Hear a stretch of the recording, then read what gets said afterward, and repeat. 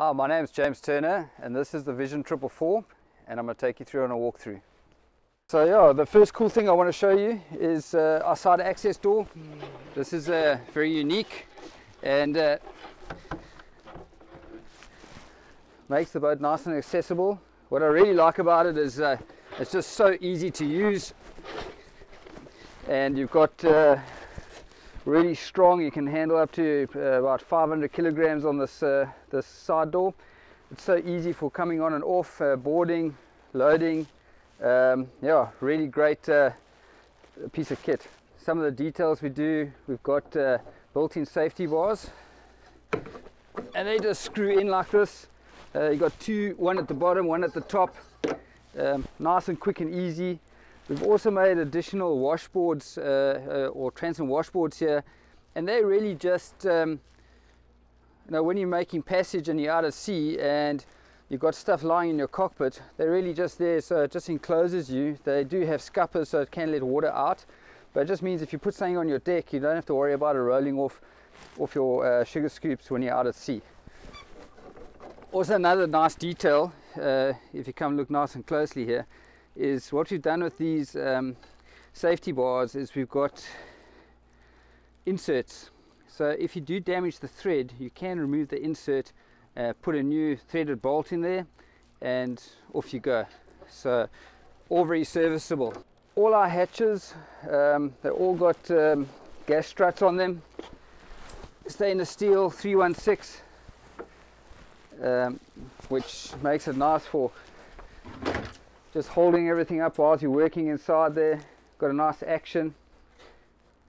So it's got a soft soft open and soft close uh, action to them. If we look through the cockpit here we've got a real nice open space cockpit uh, I've made all the seats as wide as possible. Um, they really work well as a day bed um, or if in a real tropical place. If somebody wants to lie there and sleep, they can. So now if you put your enclosure around your bimini, you've got uh, great outdoor space. Uh, also, all our boats come with these uh, lovely uh, teak tables. We've got another detail here. We've uh, we fitted a live bait well system. Um, cool about this one is it does salt water or fresh water. Um, pump just pumps continuous water flow and then it's got an overflow. So it's a bit like a powerboat uh, live bait system. Another thing you'll notice is we've got like a teak look flooring. This is EVA decking. As you see when I push with my finger it's it's a it's soft. It's a it's a bit like a high quality yoga mat and great underfoot foot uh, great grip. Um, the wetter it gets the grippier it becomes so here we've got what we call a brush finish. So you'll see we've got nice lines here um, and this gives a more traditional wooden look. And on the side decks here we use a embossed finish. So um, simpler, plainer, more uniform type finish. Uh, this is our helm station. Uh, also try to keep it as clean, as simple and neat and functional as possible.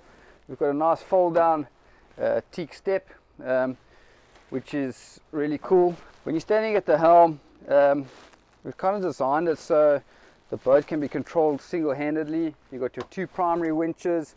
This controls everything.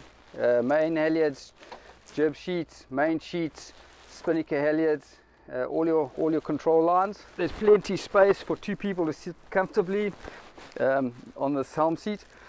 Also the step gives you a bit more access for shorter people like myself be able to uh, reach forward and also to give me better visibility for my port bow uh, especially when I come to dock. We've uh, got two built-in rope pins. We've got a rope pin over here which we built in and we have another rope pin on this side so it keeps all the control lines nice and neat. Then underneath the helm we have a tall and skinny uh, locker here and this is ideal for storing uh, shore power leads, uh, additional warp, uh, mooring lines or even your hose pipe. So that's a great little um, place to store those uh, objects which don't always lie so nicely in your lockers. Then you'll notice I'm standing on top of a, a big grating here. So we've got a big dump. If you do take a wave on, this will dump a huge amount of water. Um, so it allows you to really uh, get rid of the excess water. Another thing you'll notice is all our support struts and davits are not just bolted on, they're all built into the boat. Uh, they're all foam sandwich composite, which makes it really strong and really light. And it's uh, nice that they're all integrated into the boat. Off the center line here, uh, you'll see we deploy our life raft off the off the stern here. Um, we've just got these quick release uh, red uh, tags that you pull and you pull those and you can shoot your life raft out. The reason why we positioned it there is that it's fully accessible so when you're in the cockpit or heaven forbid if you capsize you can access it from the bridge deck upside down.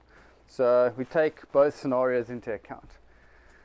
Then uh, another cool feature we've got is we've got a we can open our sliding hatch here and this just gives us you know, more access. Um, if you're going through a narrow passage uh, like the Knysna Heads and people want to stand up and look where they're going, it's just another place for people to stand safely and also enjoy the view and be part of the whole sailing experience. If the weather gets bad and you've got a bit of rain, you can close it all in and we've got drop downs that you can put on and just gives you that more protection.